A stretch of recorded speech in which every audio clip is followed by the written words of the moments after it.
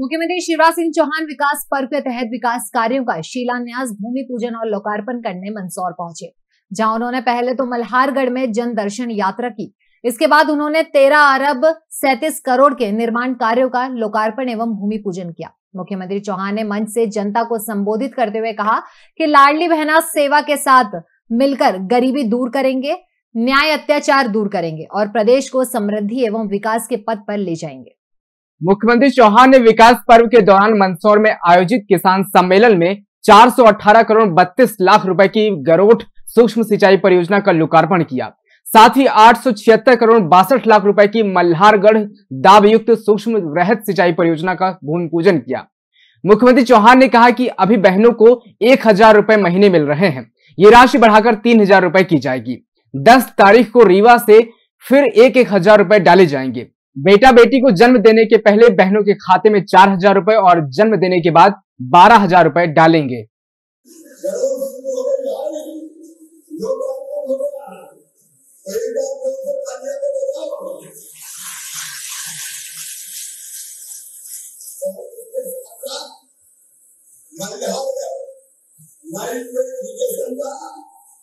हमारा है।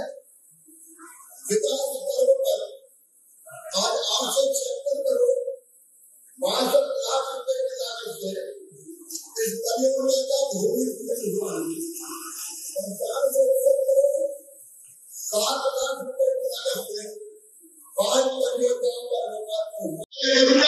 साढ़े सत्रह सौ रुपया।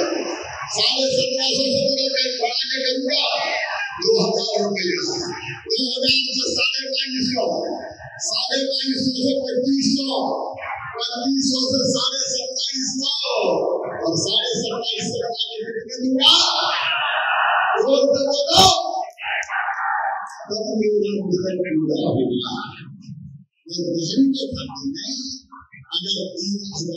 मुख्यमंत्री शिवराज सिंह चौहान ने कहा कि प्रधानमंत्री नरेंद्र मोदी के नेतृत्व में वैभवशाली, गौरवशाली, समृद्ध और संपन्न, शक्तिशाली भारत का निर्माण हो रहा है।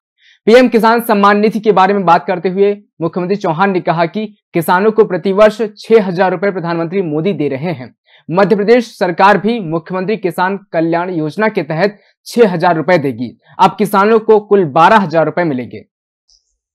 लोगों की ज़िंदगी बदलने का अभियान चल रहा है। गरीब की ज़िंदगी बदलने का अभियान चल रहा है। प्रधानमंत्री जी के नेतृत्व में भारत आगे बढ़ रहा है। एक वैभवशाली, गौरवशाली, संपन्न, समृद्ध और शक्तिशाली भारत का निर्माण हो रहा है और अपना मध्य प्रदेश भी अब तेज़ी से आगे बढ़ रहा है। बहुत से काम हो गए, लेकिन अभी बहुत से करना है।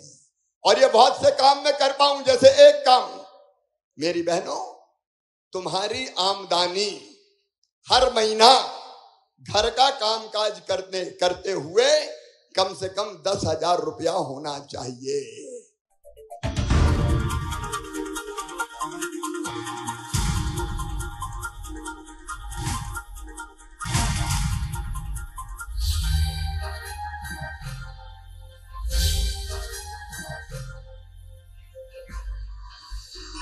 आप देख रहे हैं दखल न्यूज़।